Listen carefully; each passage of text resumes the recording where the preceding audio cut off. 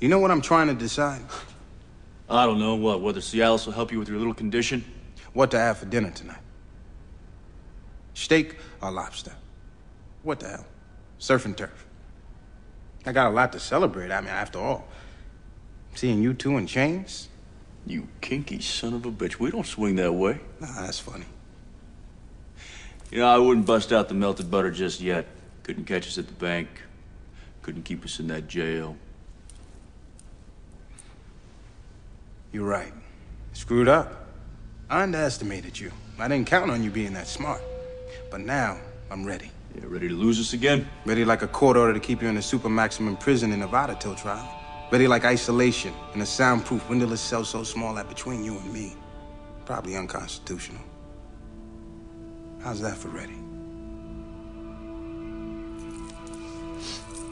Take a good look at Sam. You two will never see each other again. Nah, where's that smug Smile, Dean. I want to see it. You got the wrong guys. Oh, yeah, I forgot. You fight monsters. Sorry, Dean. Truth is, your daddy brainwashed you with all that devil talk and no doubt touched you in the bad place.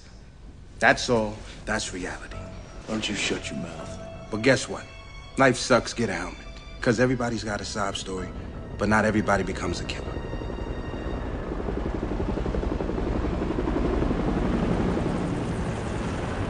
And now I have two less to worry about.